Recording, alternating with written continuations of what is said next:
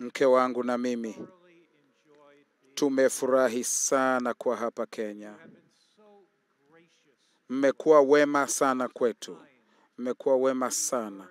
Tumejifunza kufurahia chakula cha Kiafrika na hata nimepata uzoefu wa ugali. Unajua, tumejisikia vizuri sana, tumejisikia nyumbani. Asanteni sana kwa wema wenu, kwa mikono yenu iliyofunguka na mioyo yenu iliyo wazi zaidi. Asanteni timu nzima ya Hope Channel ambao umefanya kazi ya pekee kutangaza katika Afrika yote na tena pia Union Division Conference na uongozi wote. Nimekuwa nimebarikiwa sana kufanya nanyi kazi. Mngeshangaa kwa nini nimeamua kuhubiri jioni katika vazi hili la Kimasai.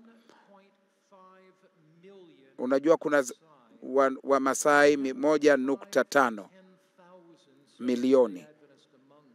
Tuna kuna kama kumi elfu kati yao, na hivyo hili hili vazi linawakilisha kile ambacho nataka kuzungumza juu ya utume, kuchukua ujumbe kwa Wamasai, lakini pia kwa kila jiji, kila kijiji, kila mji, kila jamii katika divisheni ya Afrika Mashariki Kati. Hivyo tuombe. Baba wa mbinguni, umetuita kama watu ambao unahitaji tuwe nuru katika ulimwengu huu, kuwa chumvi ya dunia, kuwa mabalozi kwa ajili ya Kristo. Umetuita kama mashahidi katika kizazi hiki, na kwa majuma mawili tumesherehekea katika neno lako, na sasa tunapoondoka mahali hapa ni wakati wa kwenda na kusema, kwenda na kutoa kisa hiki kutoka katika moyo wa kila mmoja wetu kusema ya kwamba nitakwenda kwa neema ya Mungu na kumfikia mtu mwingine kwa ajili ya ufalme wa Kristo. Tunakushukuru Bwana kwa sababu kwa kweli wewe utatuwezesha kushiriki ujumbe wako wa, upendo na wanaume na wanawake katika Afrika yote. Katika jina la Yesu, amina. Ilikuwa Ijumaa 300 years ago miaka elfu mbili na mia tatu iliyopita. Yesu katika bustani ya Getsemani miaka elfu mbili na ishirini na tatu iliyopita au pungufu, akachukuliwa na watu askari wale na kuwekwa katika katika jumba la hukumu, akahukumiwa kufa kwa makosa ambayo kwa hatia ambayo hakuwa nayo, akibeba msalaba ule ulio usio mzuri, aki akijikwaa mara tatu, na halafu Simoni akachukua ule msalaba na kuufika vileleni vya Golgota. Alipofika kileleni cha mlima wa Kalvari, wakampigilia misumari mikononi mwake na kumchoma na, ku, na kumpiga mchoma kwa, kwa, kwa, kwa fumo lile, na kisha wakamwekea wakamwekea taji ya miba katika kichwa chake. Ilikuwa Ijumaa yenye giza, damu ilipodondoka katika mwamba ule. Yuda alimsaliti Petro, alim, Yuda alimsaliti Petro, alimkana. Ilikuwa ni ja, ni Ijumaa yenye giza nene. Ma, mawingu yakaja, mvua ikaanza kunyesha. na ma, maua yakaangusha uzuri wake, ndege wakaacha kulia, na ilikuwa ni Ijumaa ya kusikitisha. Pale katika msalaba, akibeba dhambi za binadamu. Aliinamisha kichwa chake na kufa. Alipumzika katika kaburi siku ya Sabato, lakini ile Ijumaa yenye giza ikatoa nafasi kwa ajili ya ile siku ya kwanza ya juma, Jumapili, ile siku ya ufufuo, siku ya asubuhi ya Jumapili, jua jiwe lilipovingirishwa, malaika akasema, Baba, mwana mwana mwana baba yako anakuita. Hakuna ambao wangeweza kumzuia katika kaburi. Yesu alitoka akiwa hai, askari wa Kirumi wakaanguka kama waliokufa, lakini pale baadhi ya maneno ya awali ya Kristo katika ile Jumapili, Jumapili asubuhi, wale wanawake walipokuja katika Mathayo 28 anakutana na wale wanawake wawili. Mathayo 28 fungu la tisa anasema, natazama walipokwenda wakimwambia kwamba Yesu akawaambia akisema, salamu, shangilieni. Wakaenda wakasema, Yesu Kristo amefufuka, uovu umeshindwa. Shangilieni kwa sababu dhambi zenu zinaweza kusamehewa. Shangilieni kwa sababu kuna nguvu mpya katika Kristo. Shangilieni kwa sababu kaburi haliwezi kuzuia aliyeingia pale mtekwa wake. Zi, shangilieni. Yesu akawaambia, msiogope, enendeni, enendeni mkawaambie ndugu zangu waende Galilaya, ndiko watakako niona. Na Yesu akawaambia wale wanawake, enendeni, enendeni, enendeni zenu Galilaya. Yesu alipoona alipotoa maneno yake ya kwanza baada ya kufufuka, aliwaambia wanafunzi, nendeni Galilaya. Alitaka kuwa na kikao na mkutano na pamoja na wanafunzi na wafuasi wake. Ni kwa mtihani, mkutano wa mwisho walikuwa waliweza walikuwa wanapanda katika milima katika vinjia vyote na wakafika Galilaya, na hapa Yesu akawa na man, vikao, kikao cha mwisho na wanafunzi wake. Mathayo 28 fungu la 16, na wale wanafunzi kumi na moja wakaenda Galilaya mpaka mlima ule aliyowaagizia Yesu. Na unajua Yesu anakutana nao katika mlima kabla ya kwenda katika mji. Unakutana na Yesu katika mlima kabla hujaenda kwenye miji midogo. Pale katika mlima walikutana na Yesu Kristo, na Kristo akawajaza kwa Roho Mtakatifu akiwapa nguvu ya kwenda kuhubiri. Katika aya kumi na sita na wale wanafunzi kumi na moja wakaenda Galilaya mpaka mlima ule aliowaagizia Yesu. Nao walipomwona walimsujudia, lakini baadhi yao waliona shaka. Walikuwa na mashaka wakati wa nyuma na walikuwa na mashaka sasa. Walikuwa na mashaka katika karne ya kwanza, walikuwa wako na mashaka katika karne ya ishirini na moja. Baadhi yao waliona shaka, walikuwa na mashaka kama kazi ingewezekana, walikuwa na mashaka kwamba njozi ingetimizwa, walikuwa na mashaka kwamba huu tume ungekamilishwa, lakini Mungu kamwe hatimizi jambo lolote kuu kupitia kwa wale wanao na, mashaka, lakini wale waendao na Biblia mikononi mwao, wanaoendana na imani ndani ya mioyo yao, wale wanaoenda wakiwa wamejazwa na Roho Mtakatifu, ndio wanaobadilisha ulimwengu katika kizazi hiki. Wapo walioona shaka. Ne- Maneno yanayofuata bale, Yesu akaja kwao, lakini Yesu akaja kwao Ndiyo, baadhi ya walio na shaka walikuwepo, lakini Yesu akaja kwao. Yesu anapokuja anafukuzia mbali shaka zetu na hofu zetu, anatuwezesha anapokuja. Alipokuja akanena nao akasema nao akawambia, nimepewa mamlaka yote mbinguni na duniani. Basi enendeni mkawafanye mataifa yote kuwa wanafunzi, mkiwabatiza kwa jina la Baba na Mwana na Roho Mtakatifu na kuwafundisha kuyashika yote niliyoamuru ninyi, na tazama, mimi nipo pamoja nanyi siku zote hata ukamilifu wa dahari. Hebu tambua Yesu alichokisema, mamlaka yote na uwezo wote nimepewa. Enendeni basi. Tunapotoka kushuhudia kwa ajili ya Kristo, hatuendi kwa nguvu yetu, lakini nguvu yake. Hatuendi kwa nguvu yetu, lakini nguvu yake. Yesu anasema mamlaka yote nimepewa ni, ni, na unajua nguvu za giza zote nilizishinda. Hivyo enendeni sasa, nguvu ni yangu na mamlaka ni yangu na uwezo ni wangu. Tazama Zaburi, Zaburi, angalia Zaburi ya sitini na sita na uone hapa katika Zaburi, Biblia inatuambia ya kwamba nguvu tuliyo nayo katika kushuhudia inatoka kwa Bwana Yesu Kristo. Inatuambia hivi, hatuendi kwa nguvu yetu wenyewe, lakini tunaenda kwa nguvu yake. tunakwenda katika mamlaka na nguvu yake. Zaburi 66 aya ya tatu. Mwambieni Mungu matendo yako yatisha kama nini. Kwa ajili ya wingi wa nguvu zako adui zako watakuja kunyenyekea mbele yako. Naona Unaona, anasema kwa ajili ya wingi wa nguvu zako, nguvu ya Mungu aliye hai, tunaenda kwa nguvu zake. Hebu nikupeleke China tena.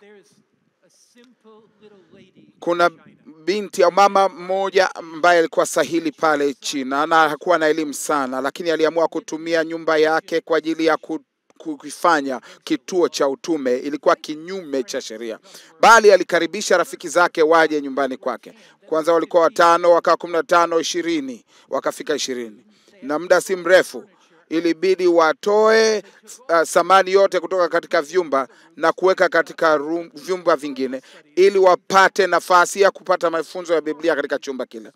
Mamlaka yakahisi kile kile ambacho mwanamke huyu alikuwa akikifanya, wakaita, wakapiga simu katika kituo, wakamuita katika kituo cha polisi, wakamwambia uta utakapoendelea kufanya hivi uta uta uta, uta, utafungwa mwaka mmoja.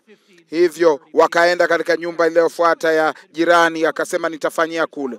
Hivyo ukiendelea kufanya hivi, wakamuita tena, tutakukamata. Hivyo akatoka akawatoa mkutano pale katika nyumba ya jirani na wakapeleka kwa, kwa binamu, na hivyo akapelekwa gerezani akaanza kuimba katika gereza la wanawake waka, akaanza kuimba, wanawake wengine wakamkusanyikia, kisha kumi, ishirini, thelathini, akaanza kunukuu Biblia. Wanawake watano wakamkubali Kristo, ishirini, thelathini, hamsini, nusu ya, ya gereza likamkubali Kristo. Yule mlinzi wa gereza akamjia aka- baada ya miezi sita, akaambia tutakuachia wende tulifanya kosa kubwa sana kukuweka gerezani, kwa sababu tulipokuweka gerezani tulikupatia kusanyiko la kusikiliza. Ulipokuwa nje ya gereza, ilikupasa kutafuta wasikilizaji. Akawaambia, tafadhalini, ni kinyume cha sheria kunitoa nje ya gereza. Nilihukumiwa mwaka mmoja, kazi yangu haijaisha. Hivyo akaenda na nguvu ya Kristo aliye hai, na wale wafungwa wakageuzwa wakabadilishwa kwa ajili ya Yesu. Ninafikiri juu ya huyu mama, mama ambaye alikuwa kipofu kule India, akawa amekariri mafungu ya Biblia mamia, na huyu binti yake alikuwa akimsomea na huyu akampeleka binti yake akampeleka nyumba kwa nyumba, na binti angesema mama yangu ni kipofu, ana anatafuta mtu amsomee Biblia. Je, unaweza kumsomea Biblia huyu bibi? Nani ambaye angekataa hili? Na huyu huyu mama aliyekuwa kipofu angeingia katika nyumba ile, na kisha akasema akamwambia akamwambia, alikuwa anamwambia yu mtu yuko pale katika gereza, anasema anataka kusoma juu ya ujio wa Kristo. Anasema Ufunuo sura ya ishirini. Hebu niseme, hebu nisomee Wathesalonike wa kwanza sura ya nne fungu la kumi na sita na kumi na saba. Eh, Bwana mwenyewe atashuka kwa tamko, kwa, kwa mwaliko mkuu na sauti ya parapanda. Halafu ana hebu ninataka kujua juu ya wokovu, tafadhali nisomee Matendo nne fungu la kumi na mbili. Hakuna jina lingine ambalo liko chini ya mbingu ambalo inaweza kuokolewa kwalo. Hebu nataka kujua juu ya eh, eh, sabato ya Biblia. Hebu nisomee Kutoka sura ya ishirini fungu la nane.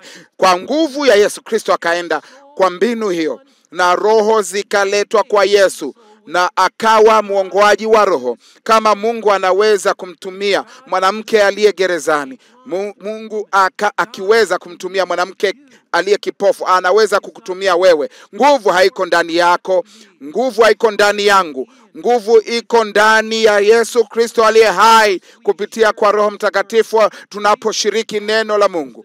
Yesu alikusanya wanafunzi wake katika mlima wa Mizeituni, na Yesu akawaambia katika Matayo, Matayo sura ya ishirini na nane anasema mamlaka yote nimekabidhiwa, enendeni basi mkawafanye mataifa yote kuwa wanafunzi. mimi niko pamoja nanyi siku zote hata ukamilifu wa dahari. Hivyo Yesu anakuambia uliyepo Kenya, Yesu anakuambia wewe uliyepo uliyepo Tanzania, Yesu anakuambia uliyepo Rwanda, Yesu anakuambia uliyepo Uganda, Yesu anakuambia wewe uliyeko uliyeko Sudani ya Kusini, Yesu anakuambia wewe uliyepo Ethiopia, Yesu anakunenea wewe uliyeko Jamhuri ya Kidemokrasia ya Kongo. Katika majuma haya mawili Mungu ameujaza moyo wako. Mungu amebadilisha maisha yako. Mungu amedhihirisha neno lake kwako. Hivyo nenda, nenda, nenda, nenda kaeleze kisa. Nenda ukiwa na nguvu ya Mungu, nenda na neema ya Mungu, nenda, nenda ukiwa umejazwa na Roho wa Mungu usiku wa leo. Je, utasema Yesu, nitakwenda? Hebu sema nami, nitakwenda. Je, utakwenda na Biblia mkononi mwako? Je, utakwenda na kitabu kwa ajili ya kumpatia rafiki? Je, utampatia flashi au mahubiri haya? Utasema nami, nitakwenda.